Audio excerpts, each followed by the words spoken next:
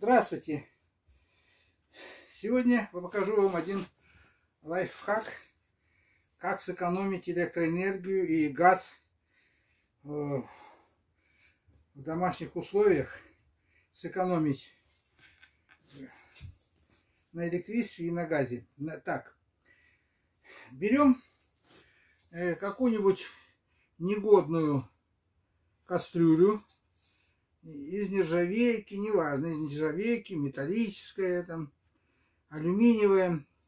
Ну, довольно, чтобы она размер довольно большой был, чтобы можно было разный, разного э, диаметра ставить сюда посудины.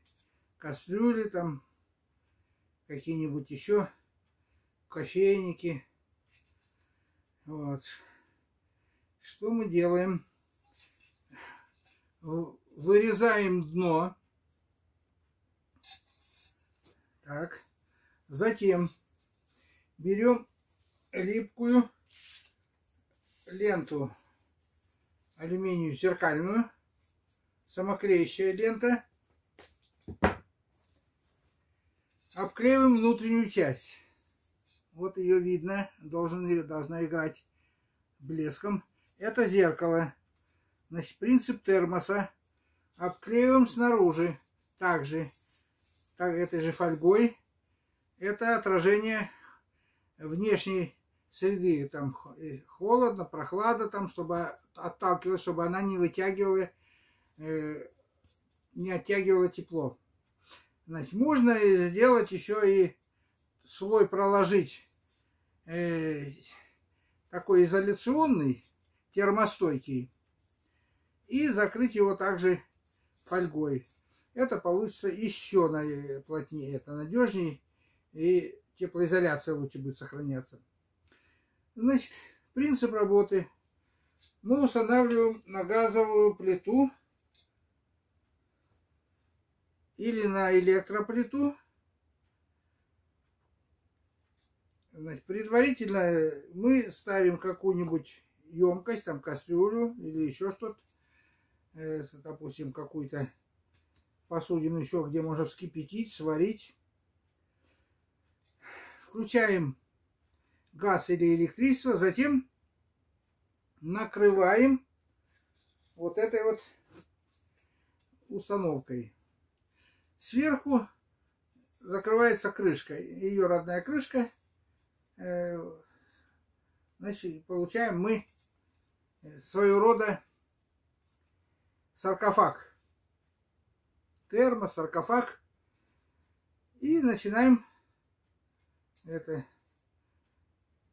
готовить. Значит, эксперимент показал.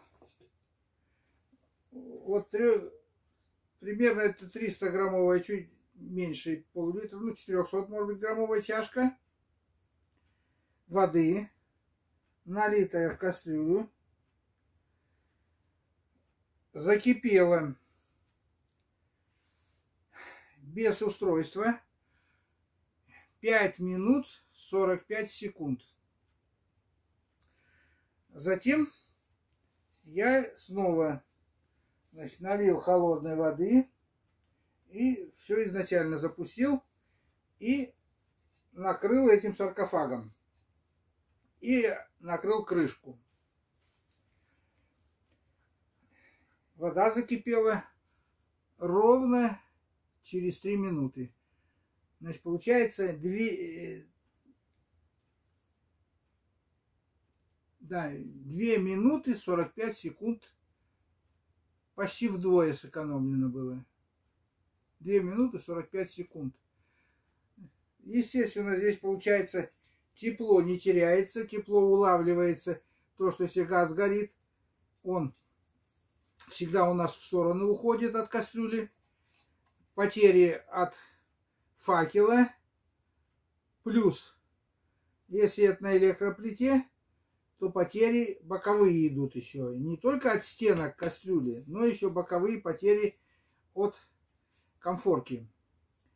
Таким образом мы перекрываем, если газ, перекрываем э, горелку и пламя учитывая, что крышка не имеет герметичности пламя, э, которое мимо, э, мимо проходит кастрюли, оно всасывается, как в трубу, вовнутрь. И получается жар э, греет это, внутреннюю кастрюлю, емкость внутреннюю, не только со дна, но и с боков. Значит, таким образом, благодаря вот этому зеркальному покрытию, мы не теряем от кастрюли тепло, которое нагревается при готовке. И время экономим, и электричество экономим, и газ экономим. Это получается принцип. Э, ну вот есть, как их, чудо, называют чудо-печки, что ли, или, ну, в общем, типа такая э, электрокастрюлька, которая э, с, электроподогревом и герметично закрыта, и плюс э, сделана в виде термоса. Там не теряется тепло, естественно, там быстрее готовится. Вот по такому принципу мы использовали вот эту вот емкость. На этом до свидания. Ставьте лайки, подписывайтесь на канал, пишите комментарии.